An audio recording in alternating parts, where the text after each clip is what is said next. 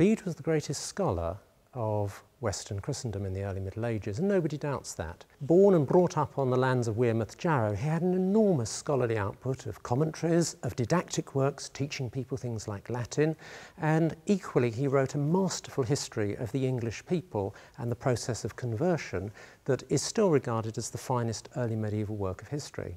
And in front of us here, we have an early copy of Bede's Ecclesiastical History that was commissioned for Durham Cathedral Priory itself after its refoundation as a Benedictine monastery in the late 11th century.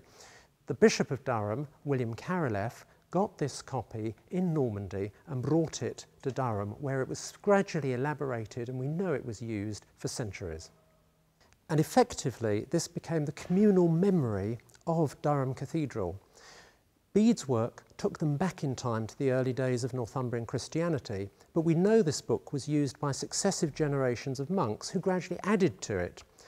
So, for instance, at the front, they included a picture of the whole hierarchy of the church. They added additional historical texts to the front and back that talked about their community and that placed it in the framework of world history. Now we know that this copy was very important for Durham Cathedral and was used by its own historian, Simeon of Durham, in the early 12th century.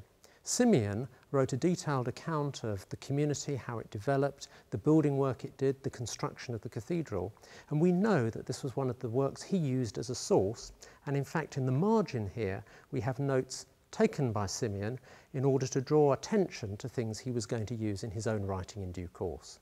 And at the end of the book was added a small booklet that reflects what was going on at the shrine of St Cuthbert and shows the offerings, gifts and treasures that had been brought there by pilgrims over the years, including jewels and also griffin eggs.